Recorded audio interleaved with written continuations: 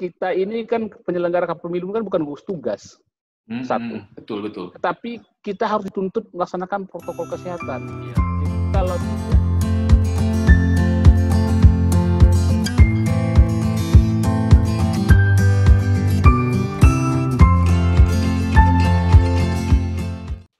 Assalamualaikum warahmatullahi wabarakatuh. Bertemu lagi di channel YouTube Denny Batubara dan kali ini kita akan membahas tentang pilkada yang akan digelar beberapa waktu lagi dan untuk itu sudah hadir bersama kita anggota KPU Sumatera Utara Yul Hasni. Selamat pagi Bang. Nah, pagi, pagi, selamat pagi. Ya, ah, apa kabar nih Bang? Aduh, sehat alhamdulillah. Sehat Sehat ya. kita semua, jaga kesehatan Ya. selalu ya kan. Pasti lagi sibuk-sibuknya ini apalagi kan Desember sudah pilkada ya Bang. Ya, sebenarnya kalau kesibukan sudah mulai sejak tanggal 15 Juni ya, Hmm. begitu KPU sudah menetapkan Iya. tahapan mulai 15 Juni kemarin. Hmm. Nah, Nah ini kan karena 19 kondisinya memang sedang ada COVID, Hmm, apa hmm. yang membedakan pilkada tahun ini dengan pilkada yang sudah pernah diselenggarakan? Iya, perbedaan itu pertama memang eh, terjadi eh, penundaan itu satu ya eh, akibat eh, eh, wabah wabahnya eh, COVID ini, maka kemudian penundaan. Yang kedua, selain penundaan tentu ada perubahan-perubahan dalam proses eh, tahapan itu sendiri. Hmm. Pertama, eh, KPU tentu eh, secara nasional ya kan eh, baik eh, KPU RI, provinsi, kabupaten kota sampai ke jajaran sampai ke bawah itu sudah eh, menetapkan standar-standar eh, tahapan itu yang memperhatikan protokol kesehatan. Hmm. Semua tahapan itu tentu eh, harus memperhatikan protokol kesehatan. Karena ini aktivitas pilkada ini eh, tentu akan berinteraksi dengan masyarakat. Salah satu ada beberapa tahapan yang sedang berlangsung sekarang ketika kita eh, wawancara ini adalah tahapan verifikasi syarat dukungan calon perseorangan. Jadi PPS itu berinteraksi dengan eh, para pendukung yang mengajukan apa yang eh, mendukung eh, eh, mengajukan dukungan terhadap eh, calon perseorangan dan itu diverifikasi secara faktual langsung Hmm. ke rumahnya. Nah, itu kan harus memperhatikan protokol kesehatan. Hmm. Kemudian ya yang paling mendasar tentu rakor-rakor, rapat koordinasi, bimbingan teknis dan sebagainya itu hampir dipastikan eh, 90% itu dengan menggunakan eh, virtual atau daring gitu. Itu Hmm. yang memang eh, berapa. Jadi PKPU eh, PKPU terkait dengan tahapan juga berubah, tentu memperhatikan standar protokol kesehatan gitu dia. Nah dari sisi kesibukan luas pekerjaan, ini KPU Ya. Sumatera Utara ini dibanding dengan KPU-KPU daerah lain seperti apa? Saya dengar ini yang ter yang terbanyak. Dari seluruh eh, penyelenggaraan pilkada di Indonesia, eh, Sumatera Utara ini paling banyak, sekitar 23 kabupaten kota. 23 kabupaten kota, kemudian eh, tentu saja eh, dengan luas wilayah yang cukup besar, eh, tentu eh, KPU Sumatera Utara harus eh, bekerja ekstra. Karena kami meyakini bahwa eh, pilkada 2 2020 ini di tengah pandemi COVID ini tentu banyak tantangan yang harus dihadapi. Hmm. Jadi memang kalau soal kesibukan ya tentu semua teman-teman KPU pasti sibuk. Tapi memang apa kualitas dan kuantitasnya mungkin di Sumatera Utara ini lebih daripada yang lain karena memang jumlahnya cukup banyak gitu. Yang banyak ya. Ya. Nah ini kan eh, sudah masuk bulan Juli, sementara Betul. kan eh, pilkadanya kan Desember, sementara masih Mhm. eh, partai-partai juga belum belum semua memastikan calon-calon mereka. Nah, Iya. tentunya akan Iya. akan banyak kesibukan nantinya itu sebelum Desember, baik itu kampanye, Mhm. sosialisasi dan sebagainya. Iya. Nah, bagaimana KPU Sumut mengantisipasi ini? Iya, pertama begini, eh, seperti yang eh, saya sampaikan tadi itu kan awalnya sudah ada verifikasi syarat dukungan calon perseorangan. Jadi di kita di Sumatera Utara ini dari 23 kabupaten kota ada 11 daerah yang ada calon perseorangannya. Itu yang Oh. diverifikasi. Nah, kemudian eh, dalam waktu dekat tanggal 15 Juli tidak begitu lama lagi akan ada satu tahapan yang eh, petugas pemutakhiran data pemilih, mutarlih namanya Hmm. itu harus eh, terjun langsung ke masyarakat dan itu jumlahnya kan tidak terbatas. Kalau syarat dukungan tadi kan terbatas jumlahnya, ya kan, dan penyebarannya juga terbatas. Tapi kalau ini seluruh masyarakat warga Indonesia yang memenuhi syarat untuk eh, menggunakan hak pilihnya itu harus didata oleh KPU dan itu tanggal 15 Juli. dan tentu saja uh, kita memperhatikan protokol kesehatan. Ya, salah satu yang paling penting adalah ketersediaan alat pelindung diri bagi petugas kita di bawah. Hmm. Ya kan? Makanya kemarin waktu verifikasi syarat dukungan calon itu seluruh PPS harus dirapid test. Bagi yang reaktif itu tidak dibenarkan untuk melakukan verifikasi gitu. Jadi ya. problemnya memang ada pasti gitu. Ya. Karena kita harus mencari penggantinya lagi gitu. Jangan sampai dulu karena kelelahan Nah, ya. sekarang karena COVID ya kan. ya, ini tantangan makanya kemudian uh, kita uh, memang orang selalu mau apa apa mengatakan uh, jangan-jangan nanti pilkada ini klaster baru dari pandemi oh, COVID oh, ini kan. Ya. Tapi mudah-mudahan insya Allah dengan tetap memperhatikan protokol kesehatan, bekerja dengan standar yang sudah digariskan, taat pada regulasi, profesional mengerjakannya, insya Allah uh, kekhawatiran itu bisa uh, apa bisa kita hindari. Ya, bang dari yang 11 hmm. calon perseorangan itu Mm-mm. Artinya kan mereka ini karena baru mereka yang mencalonkan diri gitu kan, karena betul, partai betul. belum ada mencalonkan. Benar. Nah benar. dari mereka ini ada sesuatu yang yang menarik gak kira-kira pas uh, memverifikasi? Karena kan suasananya masih COVID ini. Ya kan begini, uh, kalau proses verifikasi syarat dukungan calon itu kan uh, pertama kita harus menjumpai uh, orang yang um, apa mereka mereka mengajukan melampirkan e, berkas syarat dukungan itu kan. Nah, itulah kita verifikasi langsung ke lapangan. Nah, bagi mereka yang tidak juga diberikan sebenarnya peluang bagi syarat bagi calon perseorangan itu untuk menga, apa, menyampaikan kepada KPU bahwa inilah orang yang mendukung saya, itu bisa hmm. dengan aplikasi video call untuk membuktikan bahwa dia memang mendukung. Oh. Kalau tidak dapat ditemukan, bahkan juga diberi peluang mereka untuk mengumpulkan orang gitu, tapi tentu tentu dengan memperhatikan protokol-protokol kesehatan. Berarti ada video call juga ya dengan para calon-calon ini ya? Iya, dengan bukan dengan pendengar calon, dengan pendukungnya, dengan apakah ya? iya kan kita nanya nih, benarkah anda men, oh, anda telah melampirkan fotokopi oh. KTP anda untuk mendukung si Anu menjadi calon perseorangan? Ya, nah, itu ya. kan perlu dibuktikan gitu. Kalau dulu itu langsung didatangin orangnya?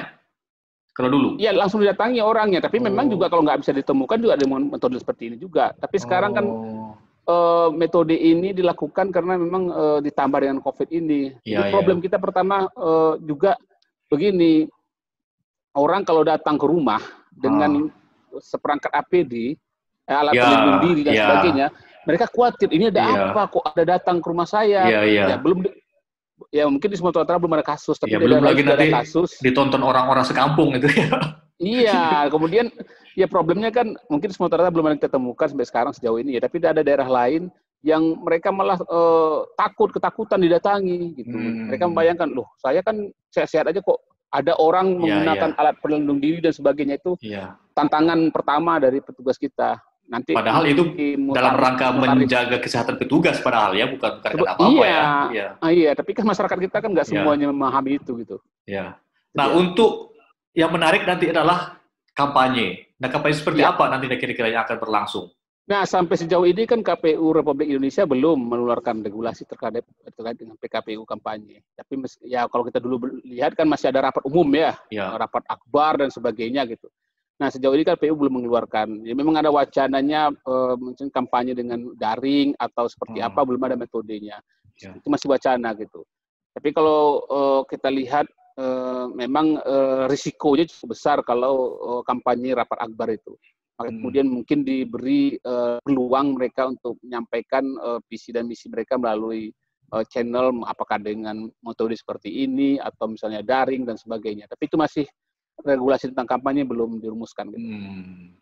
Cuman mungkin ya bisa sudah bisa terbayangkan lah mungkin itu ya kampanyenya nanti harus pakai protokol Ya kalau kita belajar dari kemarin ya kampanye ah. kita baik pileg misalnya pun pilkada misalnya ya.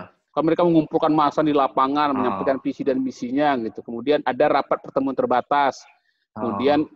mereka diberikan peluang juga untuk menyampaikan visi dan misi melalui uh, media elektronik, televisi, radio dan sebagainya gitu.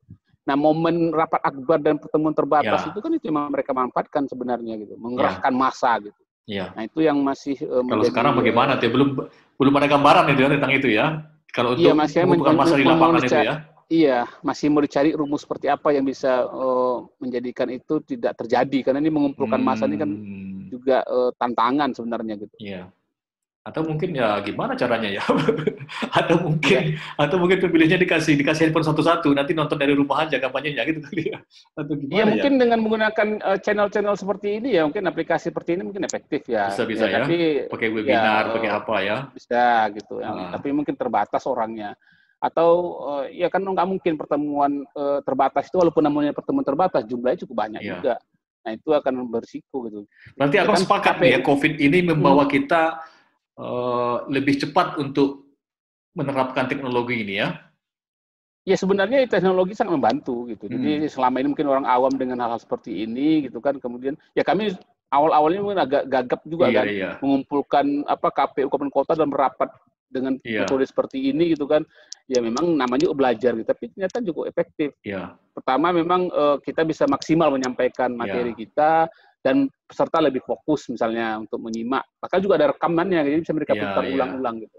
Nah. Iya, artinya dalam tanda kutip dipaksa gitu ya untuk lebih cepat memahami teknologi. Iya, iya karena COVID ini barangkali memang memaksa mereka oh, kita semua lah kita harus melakukan hmm. langkah-langkah seperti ini. Ini kan pilkada di Sumatera Utara ini kan selalu menarik ya, selalu baik dari ya. kontestasinya, baik dari persaingan antar calonnya dan sebagainya.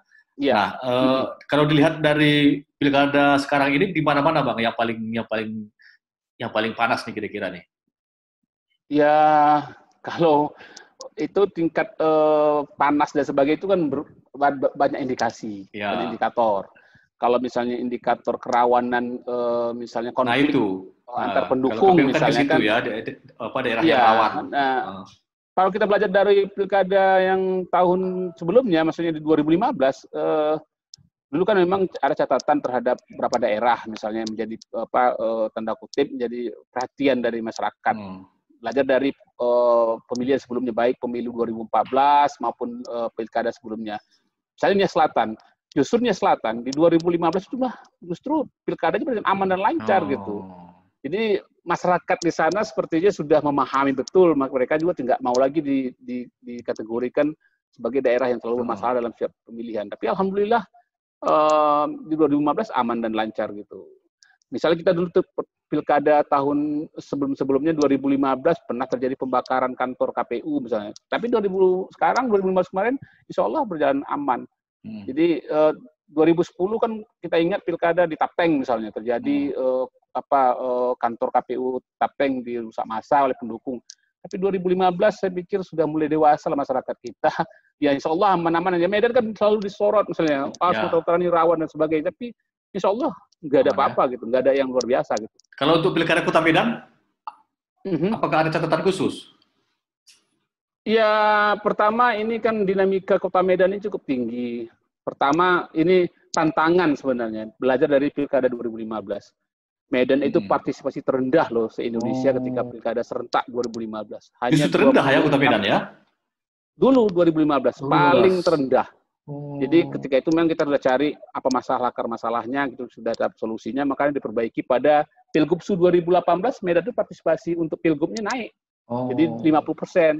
Kemudian waktu pileg juga naik gitu. Nah ini sekarang uh, pilkada 2020 ini menjadi tantangan apakah Medan bisa keluar dari zona itu. Iya, zona iya, yang iya.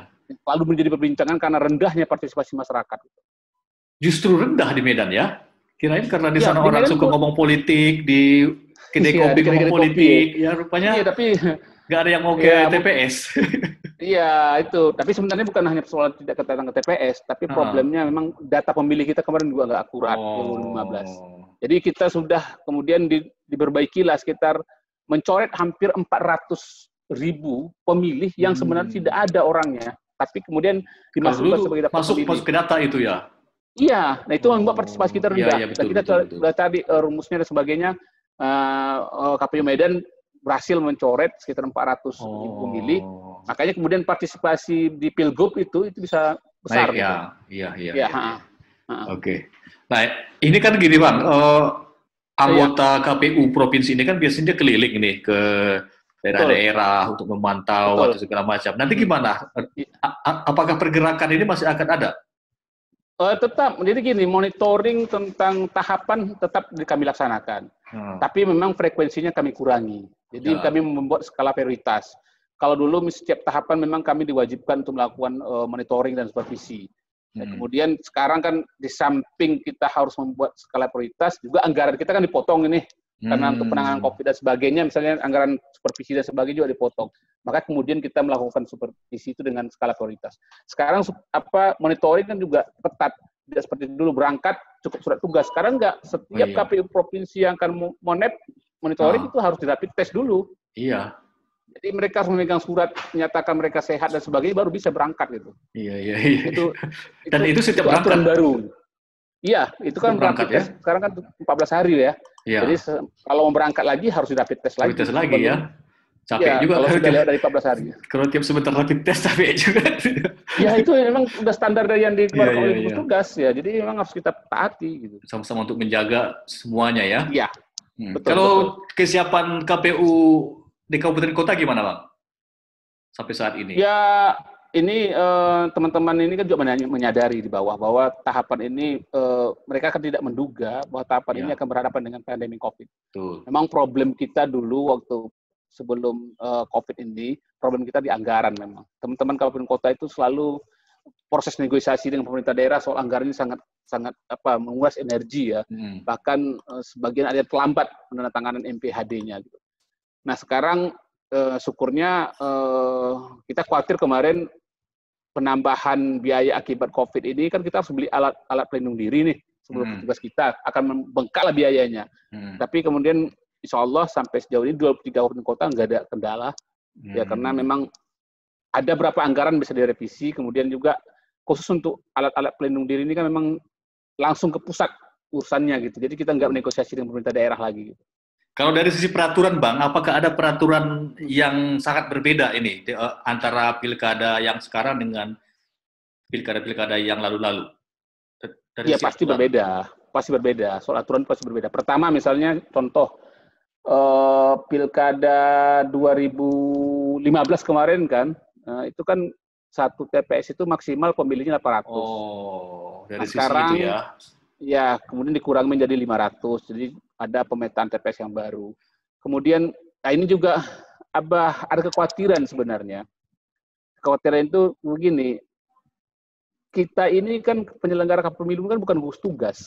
Hmm, satu. Betul, betul. Tapi kita harus dituntut melaksanakan protokol kesehatan. Iya. Jadi kalau tidak dilaksanakan protokol kesehatan, ini sebagai contoh, misalnya proses verifikasi syarat dukungan calon atau proses mutarlih. Ah. Ada protokol kesehatan yang tidak dipenuhi misalnya, itu hmm. bisa Bawaslu merekomendasikan untuk diulang gitu. Jadi orang abang sekarang jadi kayak itu ya, jadi kayak apa kesehatan juga jadi jadi ya, iya, selain, jadi, selain mengurus uh, pemilihan. Iya pemilih jadi kita pun harus oh, seperti uh, tugas harus ini ya. sudah penuhi dan sebagainya gitu. Ya, ya, dan uh, peraturan-peraturan yang yang yang lama pasti ada perubahan-perubahan tadi salah satu itu contoh jumlah pemilih kemudian juga proses verifikasi syarat dukungan calon juga tidak terlalu, terlalu panjang gitu. Kemudian uh, apa uh, tentang kampanye ya itu yang belum yang belum keluar gitu. Nah saya juga nanti misalnya yang paling ditunggu-tunggu orang bagaimana proses orang datang ke TPS. Nah, ini kan juga di, ya. Di tanggal 9 Desember itu seperti apa syaratnya kan. Ya. Kalau kita belajar dari negara-negara luar yang melaksanakan pemilihan di masa pandemi misalnya kan ah. banyak aturan mereka lakukan. Hmm. Kita contoh misalnya di di Jerman itu. Jerman itu salah satu pemilihan di lokalnya mereka mereka menggunakan apa uh, orang nggak datang ke TPS tapi menggunakan hak pilihnya melalui pos. Hmm. Nah, di Korea Selatan yang yang dikatakan orang itu paling ketat soal protokol COVID, mereka menyiapkan TPS khusus, alatnya lengkap semua gitu. Nah, sekarang bagaimana dengan masyarakat kita yang akan datang ke TPS? Ini yang dua hal yang menjadi kekhawatiran pertama, partisipasi akan terjadi defisit.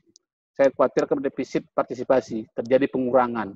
Tapi kalau misalnya uh, apa namanya pilihan untuk melakukan pemilihan melalui elektronik belum akan dilakukan itu ya? Kayaknya. Ya belum, karena ya. memang eh, tapi eh, apa eh, e-voting itu yang diwacanakan, tapi kan belum ya. semua daerah bisa sanggup itu. Betul betul. Ya karena kan? juga itu harus yang harus melalui tahapan-tahapan ini ya. Betul, betul. Oh. Yang baru kita bisa lakukan adalah penghitungan dengan metode teknologi. Ya. Itu baru baru bisa gitu. Tapi sekarang e-voting orang datang oh, seperti tidak datang ke TPS dari rumah bisa misalnya atau gimana itu belum. Apakah mungkin belum... kondisi COVID ini akan membuat itu akan lebih cepat lagi kita laksanakan kira-kira? Sebenarnya nggak bisa juga, karena COVID ini kan uh, tidak berhubungan dengan teknologi itu sendiri. Ya. Kalau teknologi kita memang belum sanggup, maka kemudian mau gimana pun nggak bakal bisa ya. Mau gimana pun tidak akan bisa. betul, gitu. Maka kemudian dalam aturan dalam aturan KPU dalam surat edaran KPU misalnya banyak juga sebutkan ya kan untuk daerah-daerah yang ternyata tidak bisa diakses internet itu memang harus langsung betul, betul, bertemu langsung gitu. Tapi kalau misalnya bisa ya itu bisa daring. Kemarin pelantikan uh, eh, PPK, pelantikan PPS ya. itu daring Ya saya bayang, betul, betul. bayangkan aja orang sinyal yang nggak ada harus ya. gunung-gunung dia supaya bisa dilantik gitu. Iya. Artinya ya, COVID unik -unik ini gitu. membuka mata kita bahwa belum semua daerah itu merata ya dari sisi itu ya. Betul. Kalau betul, itu sudah betul. merata mungkin bisa kita pikirkan ya untuk e-voting ini ya. Betul. Betul, Nah ini nanti kan karena COVID ini jumlah orang yang datang ke TPS harus dibatasi, berarti kan akan ada penambahan TPS. Bukan, TPS tidak ditambah. Nah, cuman jumlah nah, orang pengaturan yang... orang datang ke TPS juga nggak bisa ini oh. maksimal satu TPS juga 500 ya kan begitu nanti kan ada proses coklit coklit nanti bisa jadi ada yang sampai 500 bahkan ada kurang gitu hmm. nah sekarang sebenarnya bagaimana proses mengatur orang datang ke TPS itu oh. dengan memperhatikan standar protokol COVID itu berarti jaga jarak berkumpul jumlah banyaknya itu berarti yang di itu yang yang yang, yang ya. betul yang perlu menjadi perhatian uh, khusus. Nah, bolehkah atau orang misalnya, misalnya RT sekian PRT sekian, pagi RT sekian sekian, agak siangan begitu mungkin begitu. Ya mungkin itu ya nggak tahu kita metode seperti apa, tapi itu akan susah ya. ya. Karena orang nggak bisa kita atur jam berapa ya. jam berapa. Karena dalam syarat undangan misalnya si Anu, Anda datang jam sekian. Karena menurut ketentuannya kan jadwal coblos itu mulai pukul 7 sampai pukul ya. 12 betul, atau betul. sampai pukul satu bagi yang punya uh, apa yang tidak dapat uh, eh, C6 tapi ada surat keterangan apa ada ikat iktp-nya misalnya kan. Kalau kita batasi misalnya dia jam betul. 9 ditetapkan, nah itu bisa numpuk kita di belakang orang. nanti ya. Orang-orang iya, yang tadi nggak sempat gitu. datang numpuk numpuk di akhir dia. Betul. Ya, mungkin itu benar itu juga nanti itu dicek. Iya, penumpukan di area terakhir di jam-jam terakhir itu yang sebenarnya khawatir kan begini. Iya. Begitu TPS dibuka jam 7, sedikit orang baru datang. Ya. Nah, kemudian mulailah bergerak pelan-pelan mulai pukul 10, ya. 11 itu sudah mulai orang. Nah, ini yang perlu menjadi perhatian kami bagaimana mengantisipasi orang yang menumpuk di TPS di jam-jam tertentu. Maka jaga jarak itu penting sekali. Nah, itu yang yang perlu kami uh, siapkan. Karena ah. setiap TPS memang harus ada standarnya gitu. Ada harus ada termogannya, harus ada misalnya uh, alat cuci tangannya dan sebagainya untuk ya kesiapan-kesiapan untuk apa menyambut kehadiran orang banyak. Ya, gitu. ya, ya. Artinya sebenarnya Bahkan, yang membedakan itu hanya di masalah uh, protokol kesehatannya berarti ya. Iya, iya, iya itu yang yang membuat perbedaan yang signifikan. Gitu. Hmm. Oke. Okay. Nah, uh -huh. uh, buat para calon kontestan dan buat para pemilih di Sumatera Utara, apa ya. ada pesan-pesan kira-kira? Apa yang mungkin harus di, harus mereka ya. perhatikan? Ya, sebenarnya kan uh, tentu uh, semua orang berharap dia menang. Ya, ya, ya. Tapi ya. mungkin uh, untuk berhasil menang itu pasti ada cara-cara yang yang uh, apa yang elegan, ya kan? Ya. Itu satu. Kemudian uh, perlu dipahami juga oleh para kontestan ini bahwa pilkada ini terjadi di masa pandemi COVID-19. Tentu ya.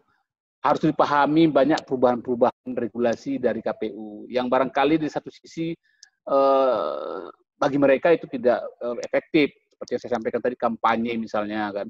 Kapan kami bisa menyampaikan visi dan misinya? Ya, makanya pesan kami ya mohon dipahami bahwa pilkada ini tidak seperti pilkada biasanya. Betul, betul. walaupun regulasinya uh, normal tapi kita ber, ber, berjalan situasinya di, yang membedakan yang, ya. yang membedakan. Jadi ya, ya. tentu dukungan dari dari semua pihak sebenarnya kita berharap Ya, jadi maklumi harus dipahami bahwa regulasi yang dibuat oleh KPU, peraturan-peraturan dan sebagainya, itu semata-mata untuk melindungi pemilih, melindungi uh, petugas uh, uh, penyelenggara dari uh, ancaman bahaya COVID ini. Jadi ya, pilkada sehat itu yang harus kita usung. Bagaimana pilkada 2020 ini pilkada yang sehat? Bukannya sehat dalam prosesnya, tapi sehat juga dalam orang yang menyelenggarakan. Gitu. Betul. Seperti yang abang ya. bilang di awal tadi, jangan sampai pilkada justru menjadi klaster baru ya. Ya, mudah-mudahan gitu. Ya, betul. Oke, masih ada bang yang perlu kira-kira abang sampaikan, yang belum tersampaikan ya, kira-kira? Saya pikir uh, siapa pun yang menonton tayangan ini, baik itu uh, terutama bagi pemilih ya.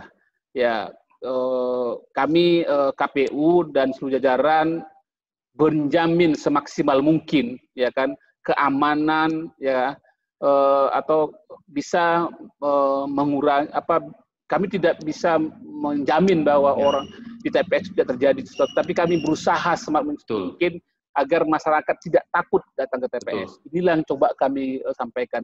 Jangan dat takut datang ke TPS. Ya. Kita berusaha untuk melindungi itu semua. Tetapi mohon diperhatikan protokol-protokol kesehatan. Sama-sama saling menjaga berarti ya. Saling sama saling menjaga. KPU-nya gitu. berusaha agar tidak terjadi apa-apa, pemilihnya juga menjaga ya. diri agar juga tidak terjadi apa-apa begitu ya. Ya, kalau masyarakat kita misalnya bisa tertib di bank, bisa tertib misalnya di instansi-instansi swasta untuk ya maunya mereka juga masyarakat kita juga tertib ketika hmm. menggunakan hak pilihnya di TPS agar semua bisa terlindungi gitu.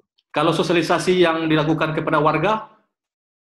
Ya kita juga kan memang uh, sosialisasi itu kan kita uh, sekarang sudah batasi pertemuan-pertemuan melibatkan banyak orang itu juga. Nah makanya kemudian channel-channel seperti ini terima kasih ya. kepada ya Bung Denny ya bisa iya. menggunakan kami gitu kan. Jadi mudah-mudahan Uh, Mudah-mudahan ini, ini ada apa namanya itu ada ada manfaatnya ya bagi Iya pasti KPU pasti ada manfaatnya kan. Iya, hmm. jadi hmm. metode seperti ini efektif. Jadi kita harus memperbanyak itu. Ya kita berharap uh, tidak hanya kita saja di sini, Bung Dedi ya, saya ya. dan Anda, tapi juga yang lain juga menggunakan metode ini metode ini Betul. untuk melakukan sosialisasi gitu. Oke Bang, terima kasih Bang. Oke. Ya. Oke. Ada satu lagi pertanyaannya Bang. Ini ya. Barcelona gimana kabarnya nih Bang, nasibnya Barcelona? Kalau uh, Barcelona sebenarnya nggak akan bisa dikalahkan oleh siapa pun. Uh, tapi ya kan uh, klasemen sementara itu kan belum ada jaminan gitu. Oh iya ya. iya iya. Apalagi Betul. sekarang kan Arthur sudah ditukar dengan udah ke Juve ya dengan Pjanic ya. Juventus ya. ya. Nah, ya, ya, sebentar betul, lagi kita lihat gitu. Mudah-mudahan dengan datangnya Pjanic Barcelona kembali ya ya sebenarnya Barcelona bukan kembali, memang selalu memang selalu ya? stabil. Ya? Mantap. Nanti iya, kita cuman jadwalkan orang-orang yang tidak ya iya, orang-orang yang tidak suka Barcelona yang mengatakan betul, Barcelona betul. itu dalam terpuruk gitu. Nanti ya, kita jadwalkan saya, satu wawancara ya. lagi khusus bahas bola ya, Bang. Oh siap. Mudah-mudahan bisa bergabung Messi di sini ya kan. iya, iya, iya, iya, iya. Oke, Bang. Terima kasih banyak Bang atas Oke. waktunya Oke, untuk bincang-bincang kita siap. di channel Dedi Batubara ini. Untuk Anda yang menyaksikan, Anda bisa komentar uh, untuk memberikan tanggapan atau usulan misalnya tentang topik-topik apa lagi yang akan kita bahas di sini. Dan uh, untuk Anda juga silakan subscribe, like, and share channel ini agar channel ini bisa tumbuh. Dan kepada Bang Yul Hasni, saya ucapkan terima kasih banyak atas waktu okay. dan kesempatannya untuk bincang-bincang Sama-sama, terima kasih. di sini. Uh, akhir kata, saya ucapkan Assalamualaikum warahmatullahi wabarakatuh. Waalaikumsalam. Oke, makasih ya Bang. Thank you okay, Bang. Oke, sip. Sip. Yuk.